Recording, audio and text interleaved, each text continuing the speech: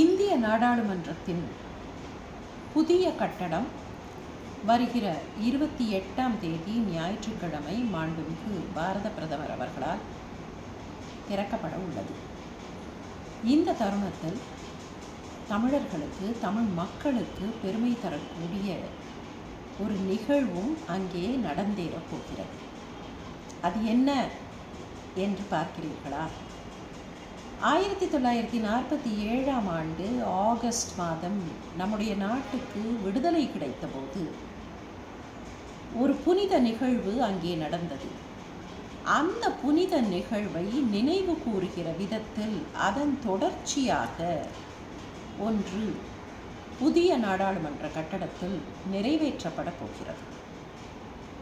ஆயிரத்தி தொள்ளாயிரத்தி நாற்பத்தி ஏழாம் ஆண்டு இந்திய நாட்டிற்கு விடுதலை கொடுப்பது என்கிற முடிவினை பிரிட்டிஷ் அரசாங்கம் எடுத்தபோது மவுண்ட்பேட்டன் பிரபு இந்தியாவுக்கு அனுப்பப்பட்டார். வைஸ்ராயாக வந்த மவுண்ட்பேட்டன் பிரபு இந்த ஆட்சி மாற்றம் transfer of power and authority என்பார்களே அந்த ஆட்சி மாற்றம் எப்படி செய்வது? இந்தியாவில் எப்படி வாங்கி கொள்ளப் போகிறீர்கள்? ஆட்சி மாற்றத்தை.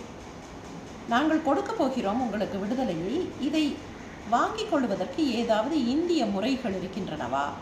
நீங்கள் எப்படி வாங்கிக் கொள்ளப் போகிறீர்கள்? என்று பண்டித நேரு அவர்களை கேட்டார்.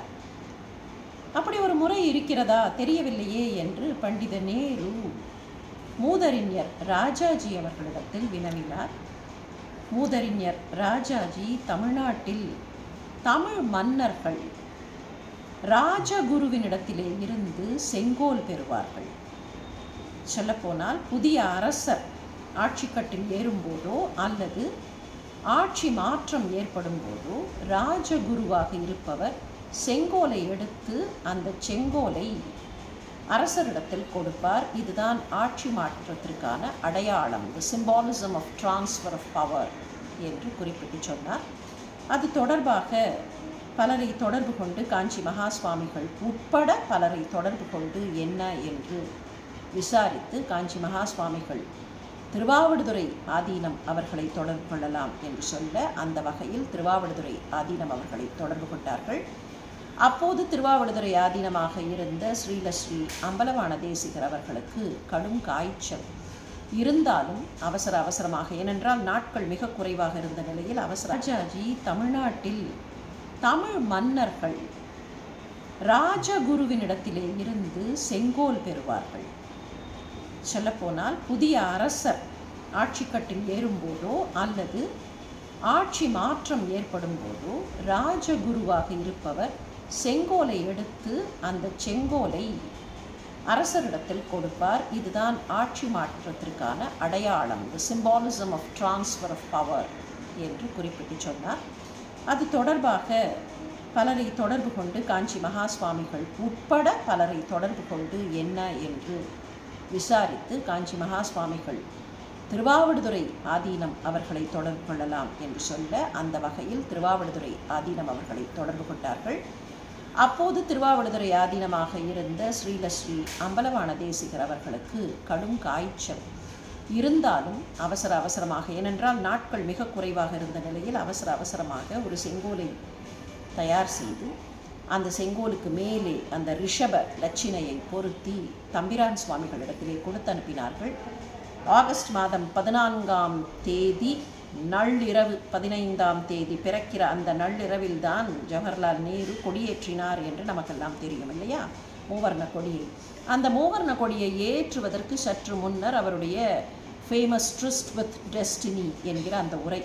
அதற்கு போவதற்கு முன்னர் அவருடைய இல்லத்தில் தம்பிரான் சுவாமிகள் இந்த செங்கோலை கொடுக்க அதை வாங்கி பிடித்து கொண்டு ஓதுவா மூர்த்திகள் கோளறு பதிகத்தை ஓத பண்டித நேரு அந்த செங்கோலோடு நின்றிருந்தார். அரசாழ்வர் ஆணை நமதே என்கிற அந்த கடைசி வரி வந்தவுடன் அந்த செங்கோல் மிக முக்கியமாக ஆட்சி மாற்றத்தை குறிப்பதாக பண்டித நேருவிடத்தில் ஒப்படைக்கப்பட்டது.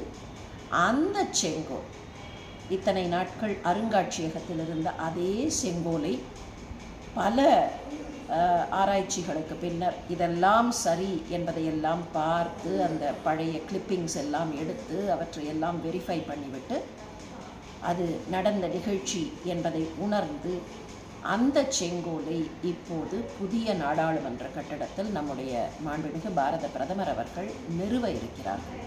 நமக்கெல்லாம் பெருமை தருகிற நிகழ்ச்சி இல்லையா? செங்கோல் என்பது நீதியின் அடையாளம். செங்கோல் என்பது நேர்மையின் அடையாளம். செங்கோல் என்பது அறத்தின் அடையாளம்.